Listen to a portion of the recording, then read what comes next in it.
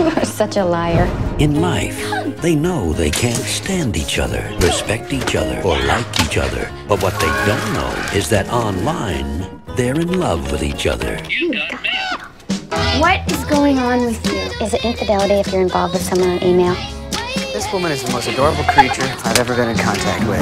Have you had sex? Of course not. I don't even know it. No, I mean cyber sex. No? Well, you? Don't do it. Because the minute you do, they lose all respect for you. In the city, where everyone's looking for someone, Joe and Kathleen have discovered the best way to meet someone Hi. But wait! is to never meet at all. We just email. It's really nothing. I don't know his name or what he does, where he lives exactly. What?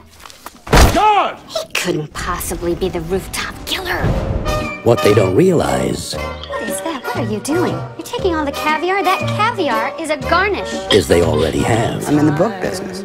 I am in the book business. What should I have said to a man who has lived my professional life in misery? Fight. Fight to the death. In life, they're at odds. She's beautiful, but No! she's a pill. Online, they're in love. Do you think we should meet? You don't seem surprised to see me. I think I know who you are. Why am I even doing this? Why am I compelled to even meet her? Relax. You're just taking it to the next level. And I'm not going to stay that long anyway. I already said that, didn't I? I'm not playing this stupid game anymore. You want to fuck that Stark girl. You just don't want to admit it. How do I look? Lovely. I wanted it to be you. I wanted it to be you so bad.